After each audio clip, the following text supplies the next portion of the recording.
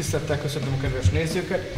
Ma egy hagyományos ételt fogunk készíteni, a pálinkás csőregét. Ennek az a különlegessége, hogy a rendes csőreget tésztába egy kis szilvapálinkát teszünk.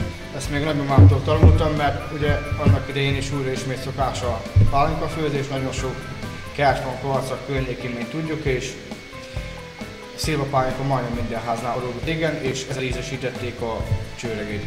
Ügyfelendek a ácitált lisztet használunk hozzá. Egy csipes sót.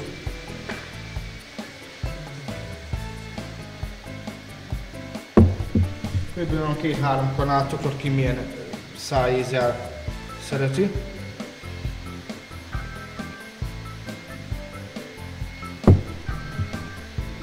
Öt tojás sárgáját, a csöregének az a lelke, hogy ha minél több tojásból, 6-ból, 7 is lehet, annál szebb lesz, annál szebb sárga lesz.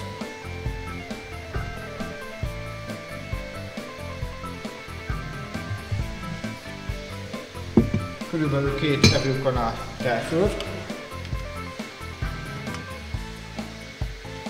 Ennek nagyon kemény tésztának kell lennie, annál ropogósabb lesz. És akkor jön a lelke. Ez házi szilvapálinkám. A három-négy evőkanál bátran lehet bele tenni, mert a liszt felissza, és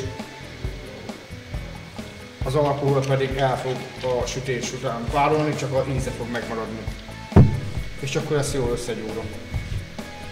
Ezt legalább egy olyan 8-10 percig gyúrni kell, nagyon jól át kell dolgozni.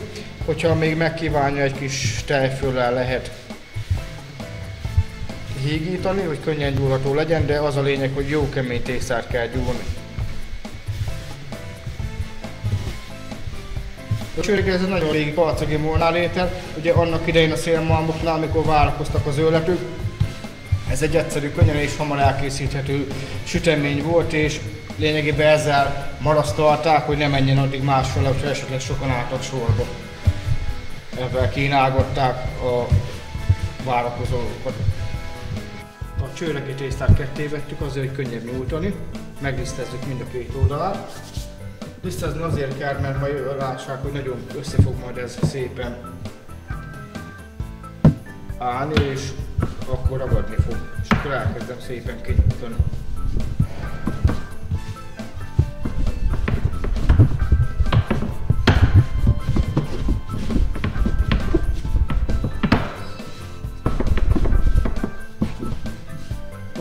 Kinyújtott tésztát szépen dereje vágóval felszeletel.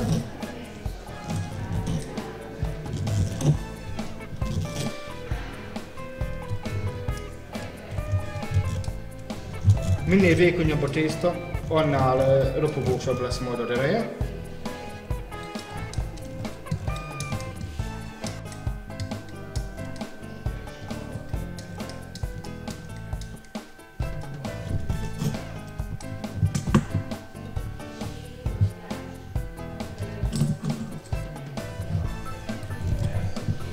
És akkor nagyon szépen így áthúzzuk.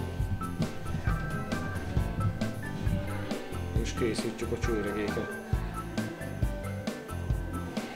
Van, aki nem formázza, az én nagyanyám az nem formázza, csak így egy felszeletelte, úgy, kinek kézügyessége, ideje, úgy engedi, úgy készíti. És szeretném megköszönni Szatmari Jánosnak és kedves feleségének a, az eurónak a segítségért.